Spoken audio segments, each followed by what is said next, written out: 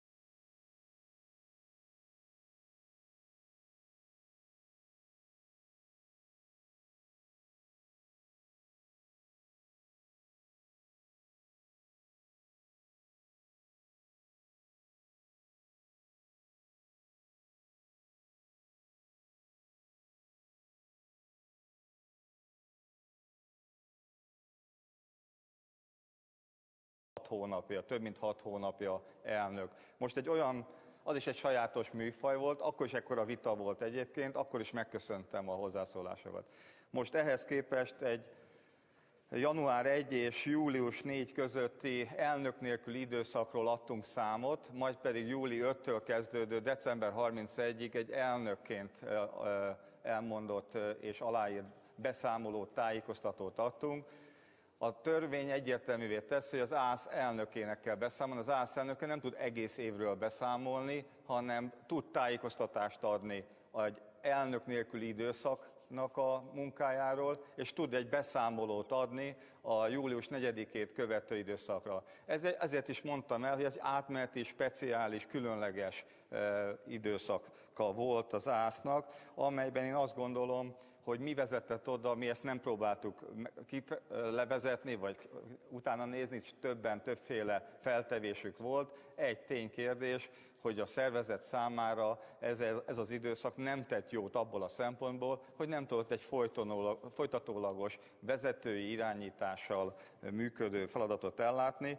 Természetesen, akik végezték a dolgokat, az, az helyes, hogy végezték, viszont hiányzott hozzá többek között az, a, a vezető irányítás, amely a parlament felé felelősen beszámolni is tud. A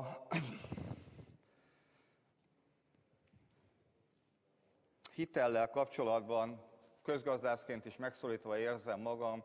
Én meg vagyok döbbenve, amikor szakemberek azt a kérdést vesztik fel, hogy a hitel az jó vagy rossz. Ez egy klasszikusan az a kérdéskör, amire azt szokták mondani, hogy attól függ, hogy mire használják, attól függ, hogy ennek a feltételei a felvételnek a feltétele az egy korrekt hitelezői körülmények között történt meg, és attól függ, hogy utána ebből mi jött létre, illetve ennek megfelelően visszafizethető el. Az állami számvevőszéknek a jelentését nem kellene ebből a szempontból kicsavarni, hiszen mi annak a kockázataira hívjuk fel, hogy bizony, ahol hitel van, az egy fokozott figyelmet kíván. Legyen az magánszemély, egy család, legyen ez egy vállalat, vagy éppen egy közintézménye, és ennek a kezelésére kell, én úgy gondolom, a hangsúlyt helyezni, erre vonatkozóan kérem, hogy majd gondolják végig a törvényhozásban is, hogy ennek a kezelése állami szférában, állami vállalati szférában is kellően átfogóan történjen meg, hiszen láthatóan sok esetben ez később a közféra, a közpénzek számára jelentett terhet egy nem átgondolt hitelfelvétel. Azt szeretném mondani, hogy a számvevőszék természetesen a törvényeknek, így az alkotmánynak, illetve majd a lendő alaptörvénynek, ahogy elmondtam az expozémban, tekinti magát alárendeltnek, illetve természetesen az országgyűlésnek, mint pénzügyi gazdasági ellenőrző szerv. Én nagyon remélem, hogy azért nem tartott a magyar gazdaság, hogy egy képviselő szólt, hogy az üzleti szférában eltörik a kezét, ha valaki valamit csinál. Én remélem ezen túl van már Magyarország a 21. században. Az egy más műfaj, az általában törvényen kívüli világban szokott ez a törvény érvényesülni. Én nagyon bízom benne, hogy Magyarországon a legális üzleti szférában egészen más eljárások vannak, a közférában pedig még inkább én emellett tenném le a voksot. Több olyan kérdés fölmerült, amely azt a kérdést vetette fel, hogy milyen bevételt hozott az állami számvevőszék. Akkor itt szeretném még egyszer leszögezni. Úgy látom, hogy még törvényben, alkotásban résztvevő, vagy az ÁSZ dolgozójaként dolgozó alelnök is nincs tisztában azzal, hogy ez egy hivatali típusú váz. Itt mi bírságot nem vetünk ki, így mi nem is szedünk be bírságot. Tehát nem lehet összevetni eh, műfajánál fogva, hogy bevétele legyen ennek a szervezetnek. Ennek a szervezetnek egyetlen egy igazán bevétel van, az maga az állam, amit az országgyűlés évről évre megszavaz. Ezzel szemben elvár egy átfogó auditálást, egy átfogó ellenőrzést, amelynek az eredményeképpen egy átláthatóbb és egy működőképesebb törvényeknek megfelelő, célszerűségnek és hatékonyságnak megfelelő működő közférát, közvagyonnal és közpénzzel gazdálkodó szférát tételez fel. Én azt gondolom, hogy ha ehhez visszatérünk, ehhez az eredeti megállapításhoz, akkor talán értik azt, hogy az a számszerűsítése, hogy mennyihez járult hozzá, hogy az ne töltjön el rossz irányba, az nagyon egy, nem egy ilyen beszámolónak a része, hiszen mögötte exakt számokat nem lehet bemutatni, hiszen, még egyszer mondom, a pénztárába senki nem fizet be az ásznak semmilyen forintot, ezzel, ezzel szemben ezt nem is lehet e, szembe fordítani, vagy szemben állítani és összevetni. Az, hogy mérhető legyen, az pedig azt gondolom a beszámolóban is elég világosan megjelöljük, hogy talán a legfontosabb az, hogy mennyien ismerik meg az ásznak a jelentését, illetve hogy az ász jelentéseiben mennyi intézkedés, következmény történik. Ez viszont új törvény feltételét helyez előtérbe, és ezeket a felszólásokat én úgy gondolom, nagyon fontosan alátámasztja, hogy változtatni kell a törvényben, abban, amiben viszont az ásznak a jelentésének tényleg mérhető haszna van, hogy magyarul intézkedés történjen ebből erre vonatkozóan. Következménye legyen a jelentéseknek. És a következmény többek között egy intézkedési tervben kell, hogy megjelenjen. Ma az a helyzet, azért tudunk csak ilyen módon beszámolni erről, mert aki akar bennünket, az tájékoztat a törvény szerint, aki nem akar, az nem tájékoztat bennünket. Ilyen törvényt alkottak 89-ben.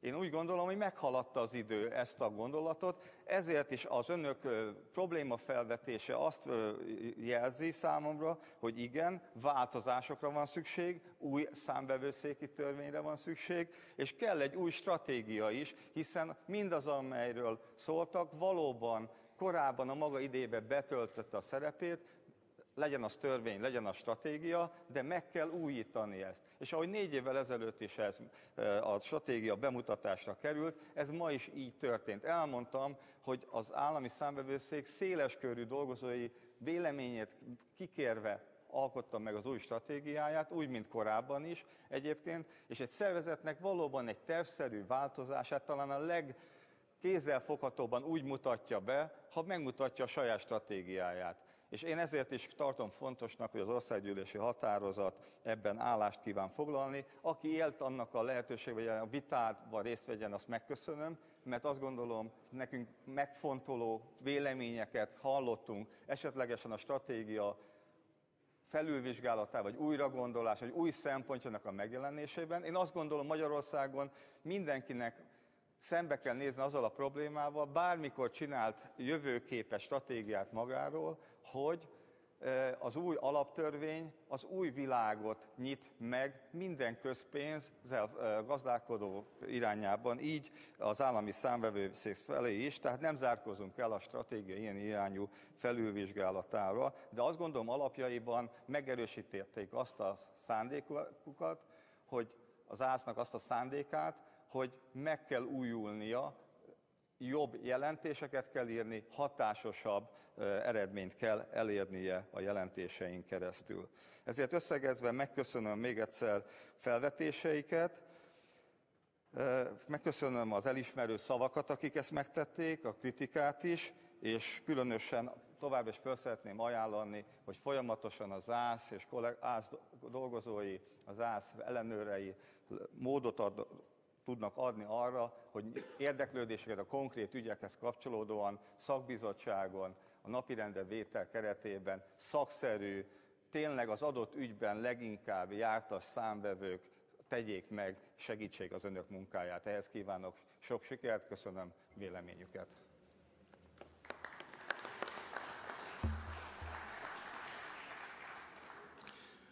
Tisztelt Országgyűlés, megköszönöm Domokos László elnök úrnak és munkatársainak az előterjesztést és a vitában a felvetődött kérdésekre adott válaszait.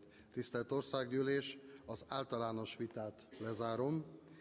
Mivel az előterjesztéshez módosító javaslat érkezett, részletes vitára bocsátásra és a részletes vitára következő ülésünkön kerül sor. Tisztelt Országgyűlés!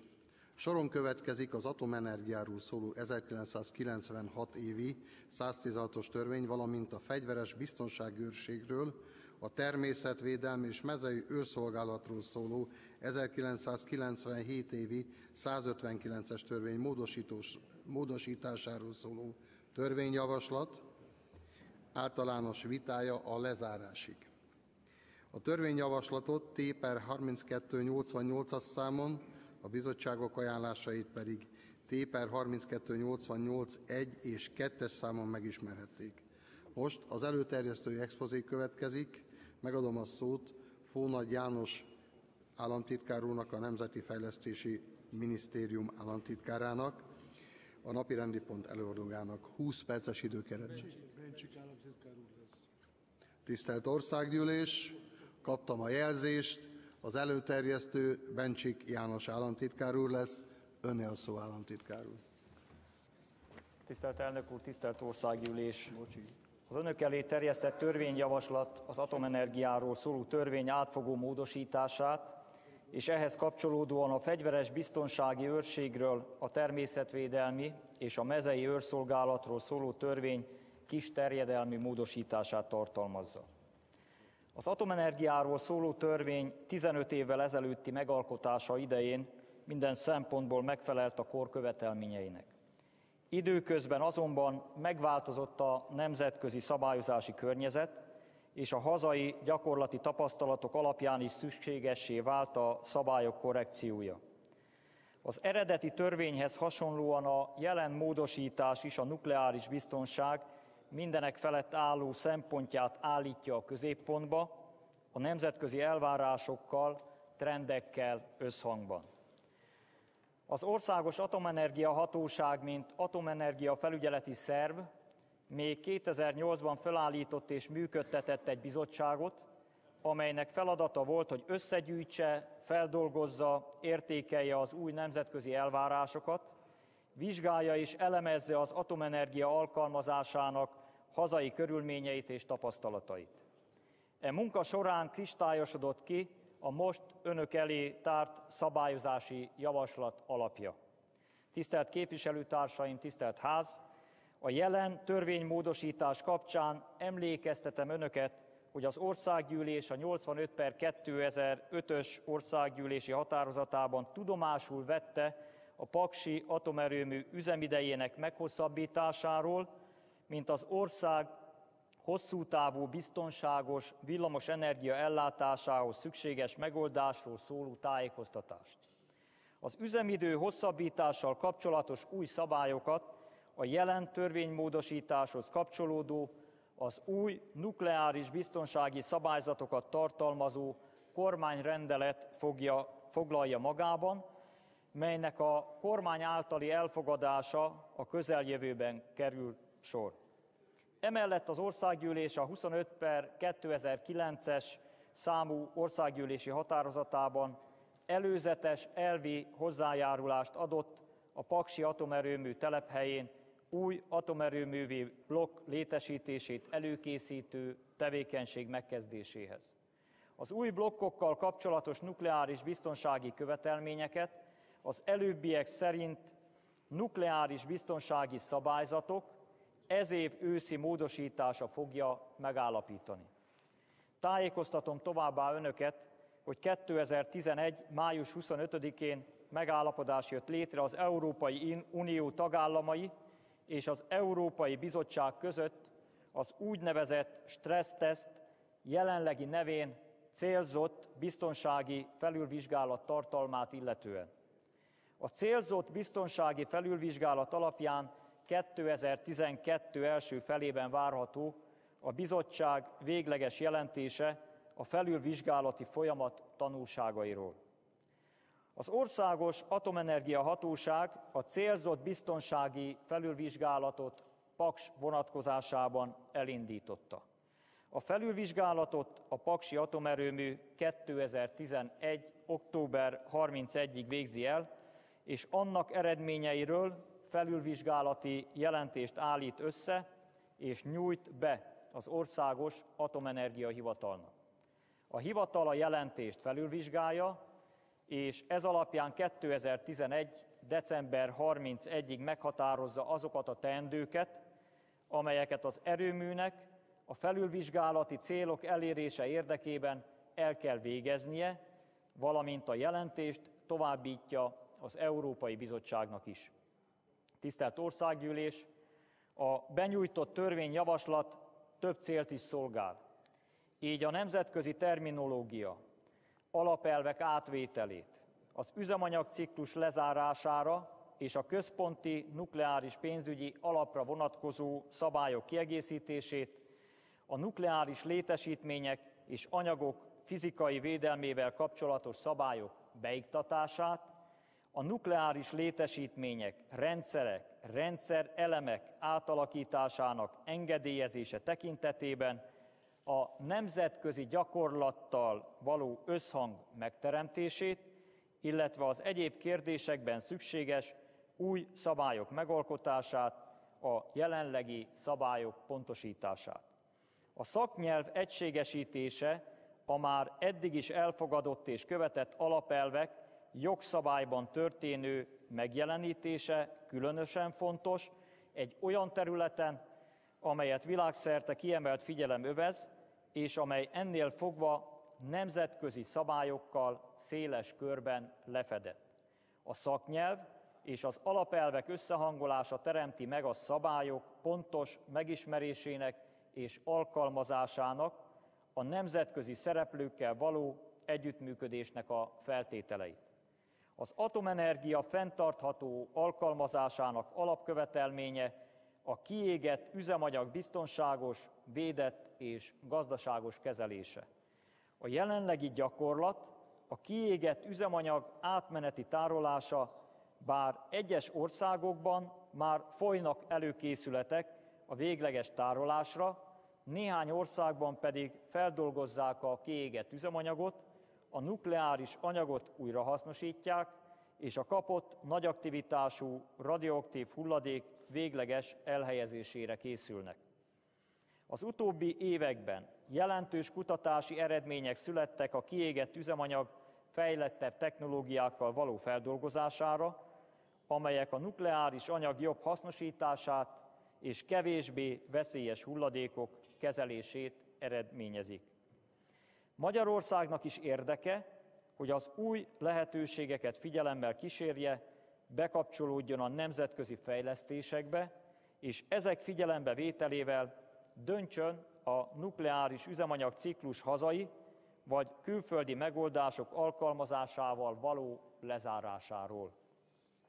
A nukleáris üzemanyagciklus, a nukleáris üzemanyagciklus lezárása fogalmak beiktatásával, továbbá a radioaktív hulladék végleges elhelyezésével, a kiégett üzemanyag átmeneti tárolásával és végleges elhelyezésével, a nukleáris létesítmény leszerelésével összefüggő feladatok elvégzésére a kormány által kijelölt szerv feladatkörének bővítésével, valamint a központi nukleáris pénzügyi alap felhasználása elvi lehetőségének tágításával e kérdésben egy teljesen új gondolkodás és stratégiai munka kezdődhet meg. A jelenleg hatályos atomenergiáról szóló törvény a nukleáris üzemanyag ciklus lezárásának csak egy módját, a végleges elhelyezést ismeri. A módosítás eredményeként az üzemanyagciklus ilyen lezárása melletti jövőbeni döntéshozatal esetén a központi nukleáris pénzügyi alapból a végleges elhelyezés alternatívájaként a nukleáris üzemanyag ciklus más módon való lezárása is finanszírozható lesz. Ez egyben azt is jelenti, hogy amíg a nukleáris üzemanyag ciklus lezárására vonatkozó döntéshozatalra nem kerül sor, a jelen szabályozás az érintettek befizetési kötelezettségeire nincs hatással. Tisztelt Országgyűlés, az állami számvevőszék ellenőrzései során megállapította, hogy szükséges a nukleáris pénzügyi alapból az ellenőrzési és információs célú önkormányzati társulásoknak juttatandó támogatással kapcsolatos szabályok pontosítása is. Erre figyelemmel a törvényjavaslat pontosan meghatározza, hogy mely társulások részesülhetnek a támogatásból, és mely célokra fordíthatják azt. A támogatás továbbiakban tájékoztatási, működési, ellenőrzési és településfejlesztési célokra használható fel, azaz a felhasználási lehetőségek közül kikerül a területfejlesztési cél. A törvényjavaslat emellett meghatározza a nukleáris és más radioaktív anyagok, valamint nukleáris létesítmények nukleáris védettségével és a fizikai védelmével kapcsolatos szabályokat. A javasolt jogi szerkezet szerint az atomenergiáról szóló törvény határozná meg a legfontosabb fogalmakat, a nukleáris védettség és a fizikai védelem fő célkitűzéseit, a kormány pedig felhatalmazást kap a nukleáris és más radioaktív anyagok, nukleáris létesítmények fizikai védelmének kormányrendeletben történő szabályozására. A szabályozás az átalakítások engedélyezése során az engedélyezésre orientált megközelítés megváltoztatásával a nukleáris biztonsági szabályozás korszerűsítését, a nemzetközi gyakorlattal való összhang megteremtését valósítja meg, továbbá figyelembe veszi a Nemzetközi Atomenergia Ügynökség ajánlásait is. A javasolt rendszer szerint az elvi engedély az átalakítással kapcsolatos rendszerelemek gyártási, beszerzési és szerelési engedélye megszűnik. A tervezett szabályozás alapján az Országos Atomenergia Hatóság egyetlen átalakítási engedélyt ad ki, amely az átalakítás végrehajtására, azaz az üzemi rendszerekhez történő csatlakozásra, az átalakítás üzembe helyezésére és üzemeltetésére jogosítja fel az engedélyest. Ez azt jelenti, hogy az átalakítással összefüggésben kizárólag azok a tevékenységek engedélykötelesek, amelyek az üzemelő rendszerbe történő beavatkozást igényelnek, és ezáltal közvetlenül befolyásolják a nukleáris biztonságot. A létesítmény engedélyesének az átalakításokat előkészítő, végrehajtó és felügyeleti tevékenysége ellátása érdekében a saját szervezetén belül önálló, a műszaki és gazdasági irányítástól független szervezeti egységet kell kijelölnie. Az átalakítások felügyeletét, a nukleáris biztonságra való hatásra tekintettel az engedélyes, belső független felügyeleti szerve és az Országos Atomenergia Hatóság végzi, a korábbiakkal egyezően az átalakítás nukleáris biztonságra gyakorolt hatása szerinti kategóriába sorolásának megfelelően.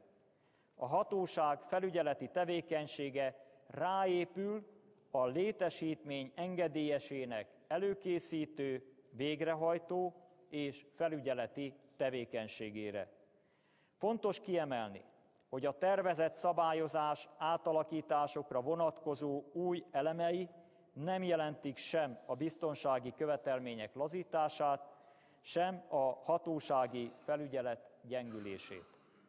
Alapvető fontosságú ér volt az átalakítások szabályainak módosítása során, hogy a 2003. évi paksi üzemzavart követően a Nemzetközi Atomenergia Ügynökség felülvizsgálta az üzemzavarhoz vezető okokat, és ezek alapján javító intézkedéseket javasolt, amelyek egy része az átalakítások hatósági felügyeletét is érintette. A Nemzetközi Atomenergia Ügynökség ajánlásában többek között a következőket fogalmazta meg. Az Országos Atomenergia Hivatalnak törekednie kell nukleáris biztonsági szabályzatai olyan módosítására, hogy csökkentse az atomerőművi átalakításokra vonatkozóan előírt különféle engedélyek számát, és biztosítsa, hogy a nukleáris biztonság szempontjából legnagyobb jelentőséggel bíró elemeken legyen a hangsúly. Az átalakítások szabályozásának új koncepciója összhangban van ezekkel az elvárásokkal.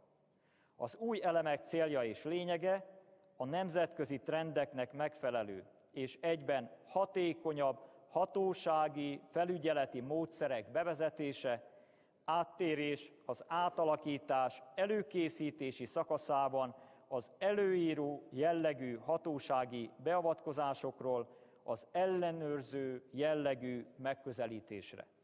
Az új rendszerben a hatóság a nukleáris biztonság szempontjából jelentős tevékenységekre tud koncentrálni, hiszen az engedélyezés kizárólag a nukleáris biztonságot közvetlenül érintő tevékenységekre szorítkozik, és így több idő és erőforrás áll rendelkezésre az ellenőrzések, átalakítások jellegi, jellege szerinti differenciált megvalósítására.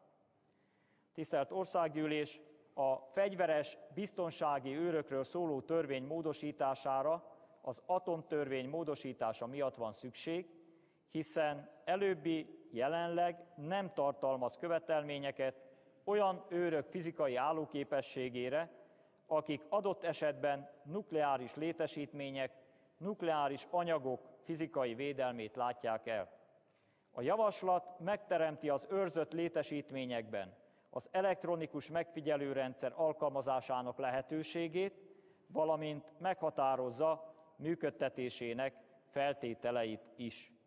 A módosítás mindezeken felül rendezi a nukleáris létesítményekben lévő felvonókra vonatkozó, eddig ellentmondásos szabályokat, pontosítja az atomenergia alkalmazási körében foglalkoztatottakra vonatkozó kizáró okok körét, lefekteti az engedélyezési és ellenőrzési eljárásokban kötelezően benyújtandó szakvéleményeket készítő szakértőkre vonatkozó, eddig teljes egészében hiányzó szabályokat, és a hatályos szabályozás kisebb hiányosságait is korrigálja.